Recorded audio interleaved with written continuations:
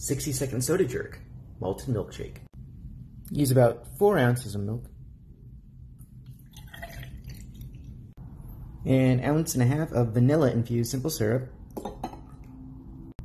3 bar spoons of malted milk powder. Ice in the shaker. Make sure you actually get it all in.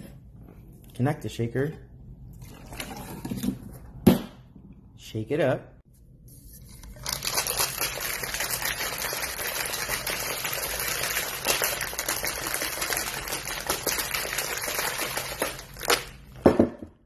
Into a glass.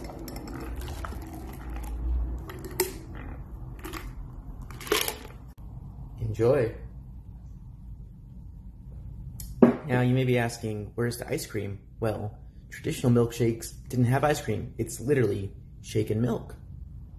Until next time, see you guys later.